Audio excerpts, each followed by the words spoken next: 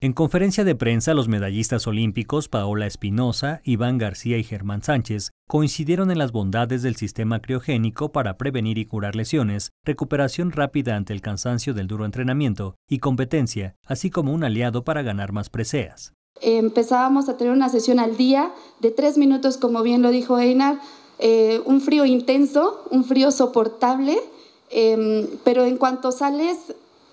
para mí yo sentía una gran diferencia al principio cuando la, sentí, la, la, probé una vez al día fue como, ay, qué padre, ya me siento mejor, pero cuando la probé dos veces al día fue muchísimo mejor. Eh, siempre, siempre queremos ser los mejores del mundo, siempre queremos pelear a los mejores del mundo al tú por tú y en, en lo particular eh, nuestras, nuestros principales rivales tenían este tipo de de ayuda, ¿no? Tenían esta tecnología en sus equipos y nosotros empezábamos a ver que nosotros somos de personas que, que pelea y que siempre, siempre da lo mejor, pero a lo mejor en ocasiones era donde, donde estábamos un poquito... Eh, más débiles, ¿no? En esta parte de, de, involucrar tecnología en nuestro entrenamiento y fue donde decidimos tomar la decisión de buscar todo esta, esta, este equipo. Después de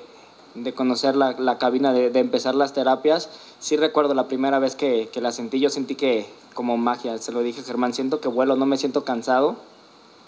y los clavados obviamente me salen mejor. Esto ayuda a mi rendimiento, estoy seguro que juntos podemos hacer una, un buen equipo para Tokio 2020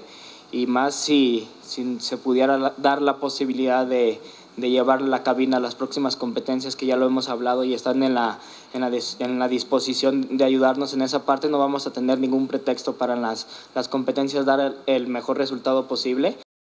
Finalmente, Einar Álvarez, CEO de la empresa CryoB, reiteró que los clavadistas contarán con esta tecnología en los Juegos Panamericanos Lima 2019 y los Juegos Olímpicos Tokio 2020 para que compitan a la par con otros países. Con información de José Luis Simón e imágenes de Raúl Monroy, Notimex.